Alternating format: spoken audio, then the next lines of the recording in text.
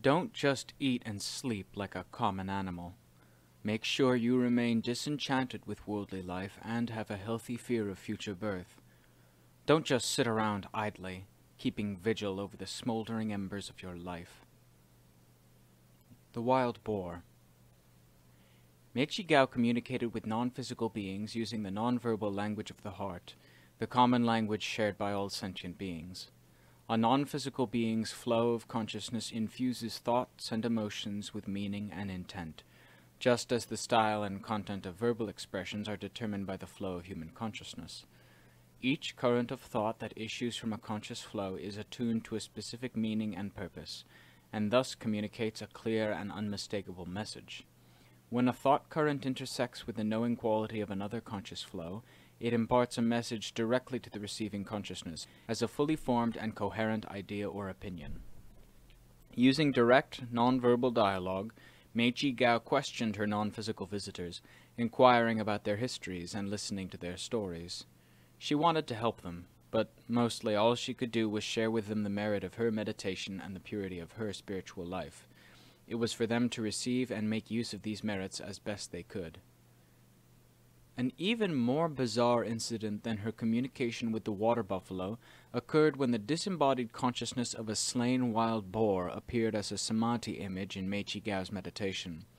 Wandering alone at night in search of food on the far side of Phu Gao Mountain, the boar was killed by a local hunter who hid near a watering hole frequented by wild animals, waiting for his next kill. In the early hours before dawn, a ghostly image of the wild boar arose spontaneously in Mae Chee Kaew's visual field. Accustomed to seeing such apparitions, she directed the flow of her consciousness, immediately asking the boar's reason for coming to see her. The boar spoke haltingly, stammering as though still in a state of shock.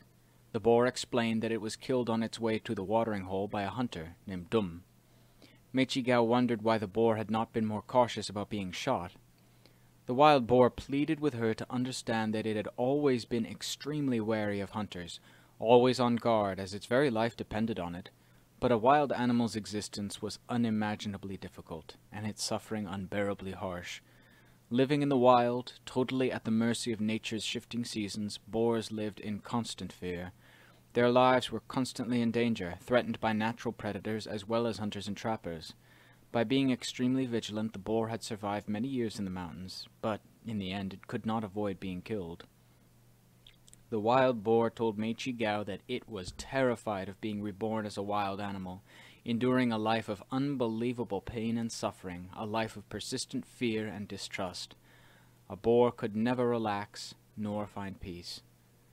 Fearful that it could not avoid another animal birth, the boar came to Mae Chee Kaew to beg for a share of her spiritual merit and virtue to boost its chances of being reborn as a human being.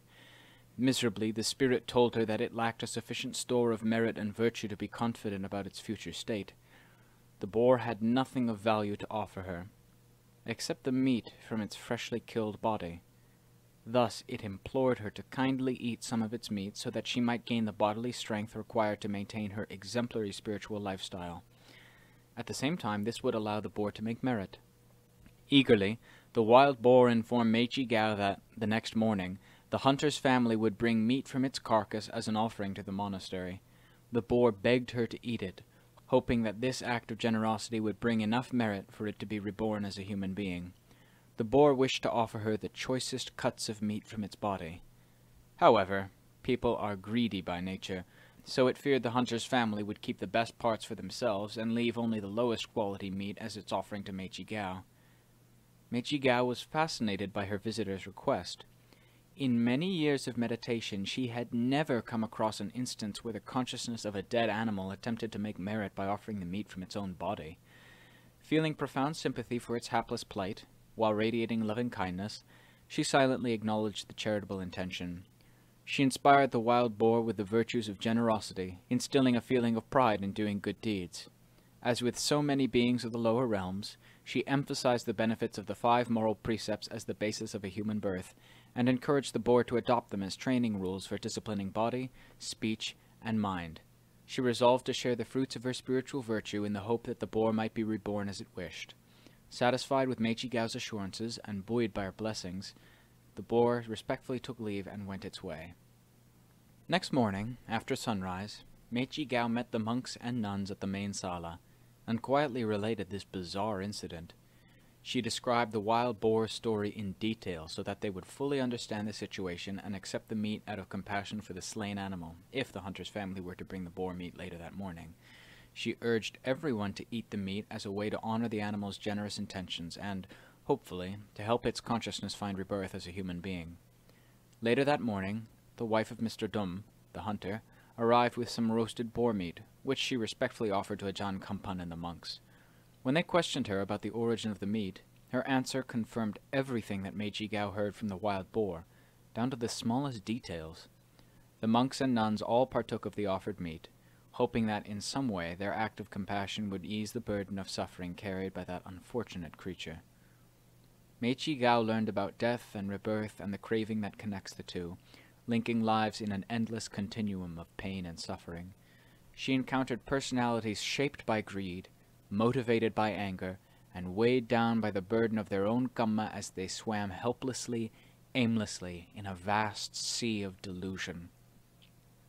Beings trapped in lower realms of conscious existence have no personal merit, no spiritual virtues on which they can fall back in times of dire need. In previous lives, when those ghosts were born human beings, they failed to develop the habit of selfless giving and overlooked the protective power of moral restraint. Because as humans they neglected to accumulate a store of virtue for the future, upon death their consciousness plunged into a realm of darkness where it was nearly impossible to generate virtue. Having no recourse to merit of their own making, ghosts and other errant spirits depend on others for salvation.